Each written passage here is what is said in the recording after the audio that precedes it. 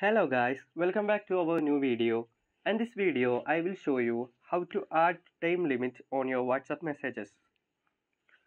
Open your WhatsApp. Tap on the three dots on the top right corner. Here you can see the settings option. Tap on the settings option and reach the privacy option and tap on it. Here you can see the default message timer option in the disappearing messages tab. Tap on it.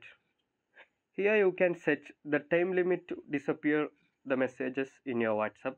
Here you can see the time limits 24 hours, 7 days, 19 days or in off.